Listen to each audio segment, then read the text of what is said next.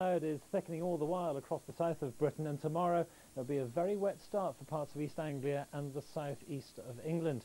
This is the way that things are shaping up just at the moment. As I say, I hope you made the most of it in Scotland, and Northern Ireland. That weather front is on its way towards you. Away towards the south, this has been producing a lot of rain across the north of France and the Low Countries, and it is heading across the channel as we speak and will eventually work its way in towards the southeast.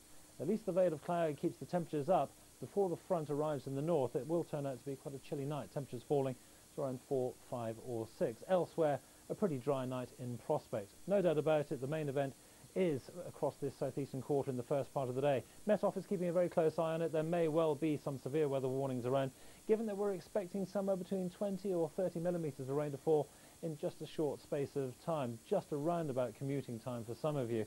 So bear that in mind. It will certainly be a very wet start with a lot of lying water around may just flirt with the South Hams of Devon, but further west than that across the Tamar and indeed across the Bristol Channel into much of Wales. Dry, fine and sunny, no threats from a front here.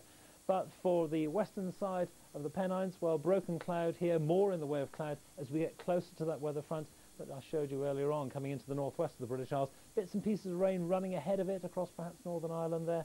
Uh, and for Scotland, bits and pieces of rain north of the Great Glen for the most part. Rather dull over towards the east coast perhaps a little bit brighter in the central belt. Here we go again at the start of the day, I'm afraid, on Friday, on the eastern side of the Pennines. The cloud is low again, and maybe a spot of drizzle, the onshore breeze. It all sounds too familiar, I'm sure.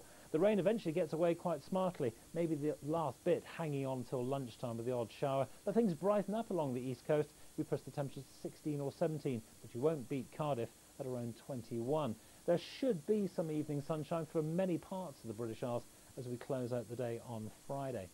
On through the weekend on the pressure charts, Saturday, weak ridge of